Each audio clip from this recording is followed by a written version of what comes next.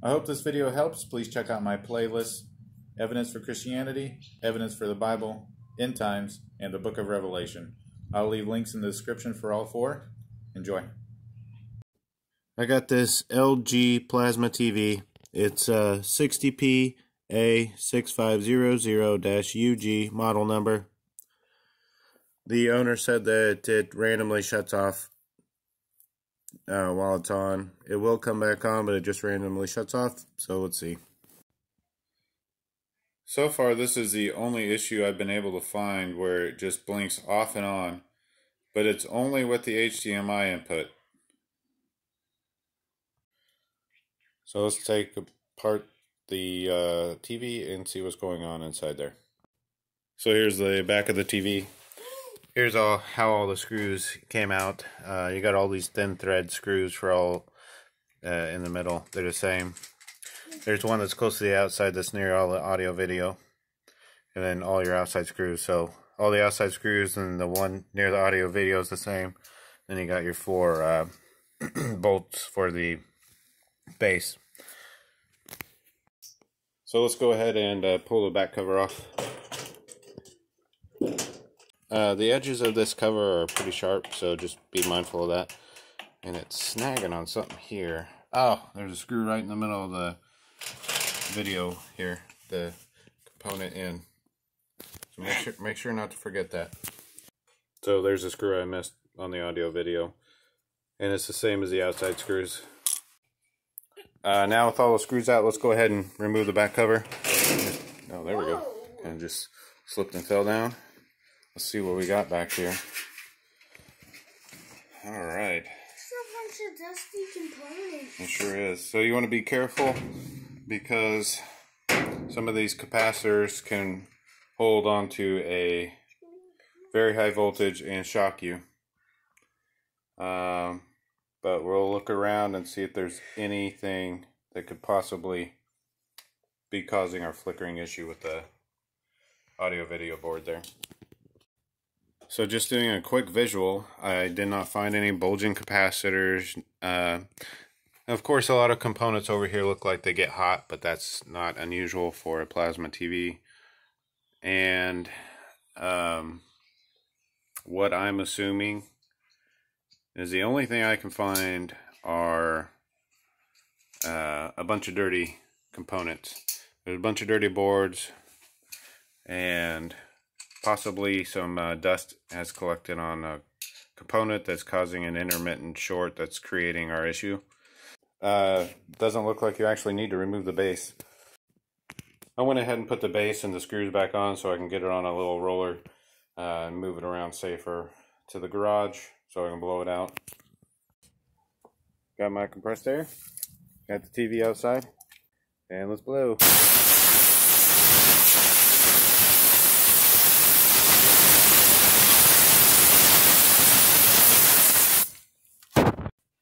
So I got everything dusted off. Now I just want to make sure all the connectors are uh, kind of, connected. yeah, got a good connection. So this one has a couple tabs on top that you got to pinch together in order to get out. Get a few fingernails under it. It'd be easier with two hands, but I got to hold the camera. So just unplug and plug them back in. You can do it a couple times if you want. If you think that might help. This one's got a tab on top that you squeeze. And then this one's got tab over here. You got to get a thumbnail on and pinch.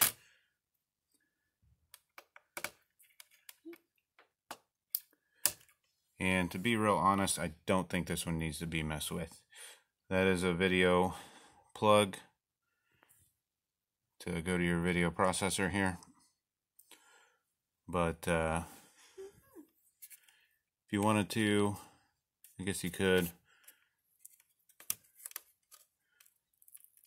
go ahead and peel back this extremely sticky tape that leaves the residue.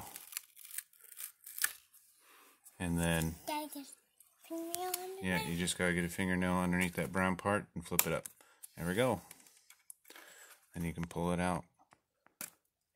And we'll put it back in and then close it up.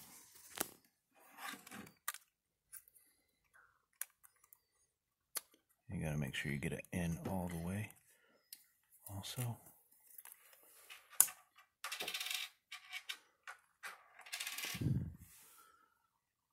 All right, that's in all the way, and then just flip down your your flap. Good, and we'll put the tape back on.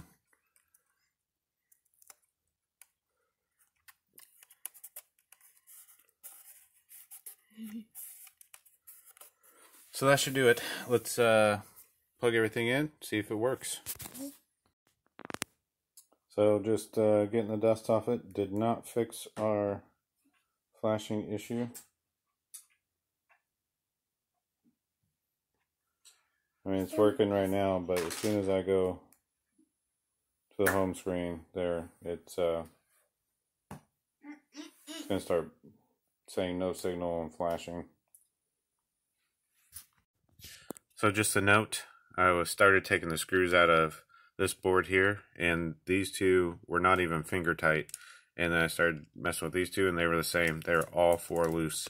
So I'm assuming that is our problem because we're not getting a solid ground to this logic board. And when you don't get a solid ground on a logic board, uh, it just screws with the logic.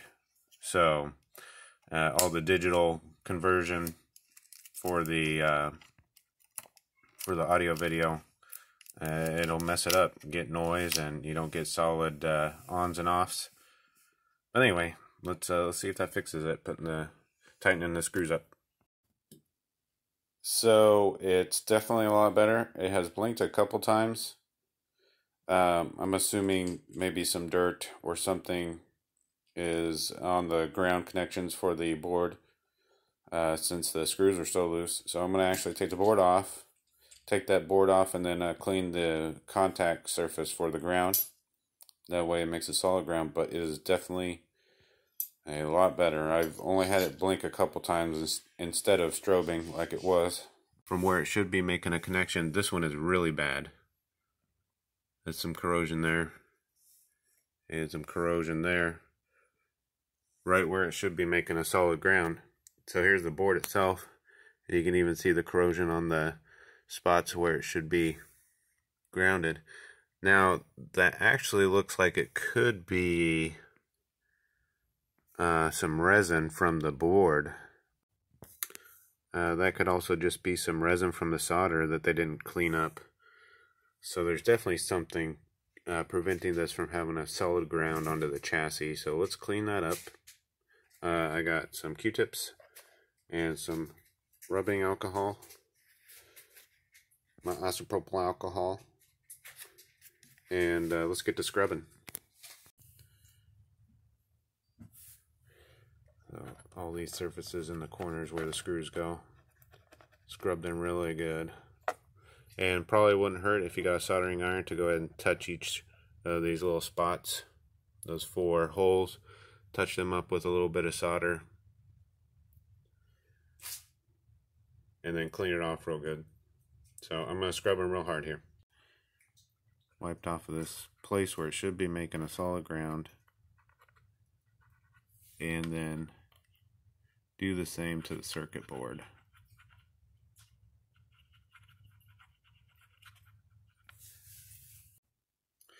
So after scrubbing on it real good with the Q-tips, it was pretty obvious that it's either some resin from the board or old solder resin that they didn't clean off uh, that's in between these grounding pads. Uh, I It really wasn't coming off the Q-tips that great, so I got a toothpick and really scrubbed on it. You know, dipped it in alcohol and really scrubbed down on the pads to get that uh, resin off of there and then I highly recommend doing the the uh, soldering iron and putting a little bit of solder on each pad if you can. I'm not going to do that right now. I'm just going to see if maybe this cleaning worked and then leave it as is. If I have any more issues, then I know where my problem is and I'll go ahead and put the solder on. But let's put the board back in. So make sure you're cleaning off the correct standoffs, these four here. I was cleaning on these two up here, but uh, those are not it. But anyway, make sure you get the correct standoffs. I'm going to go through and tighten up every screw I can get my hands on because I was tightening up the power supply ones also and they're a little loose. and then we'll put the board back in and try it. All right, so after going through and hand tightening all the screws, I found several that were loose on this board and this board over here also. Um, and then, of course, the worst of all was this one. But I'm assuming the ones on here were due to it getting hot and cold and hot and cold. And then the screws just, you know, working their way loose from the expansion and contraction uh, from the changing of temperatures.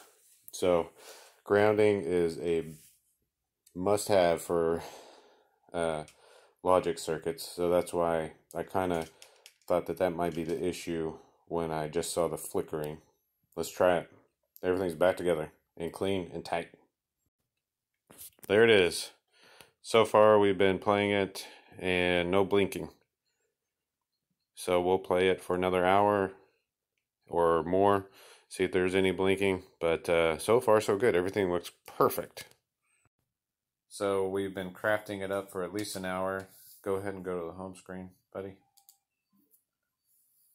All right. And this is where it was flickering really, really bad.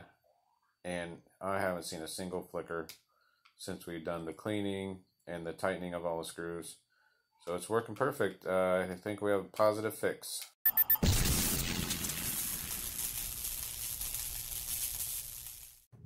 If you have any questions, just leave a comment and I'll get back to you. If you want to connect with me, I have a public group called Share Your Trade on MeWe. I'll leave that link in the description. Thanks for watching.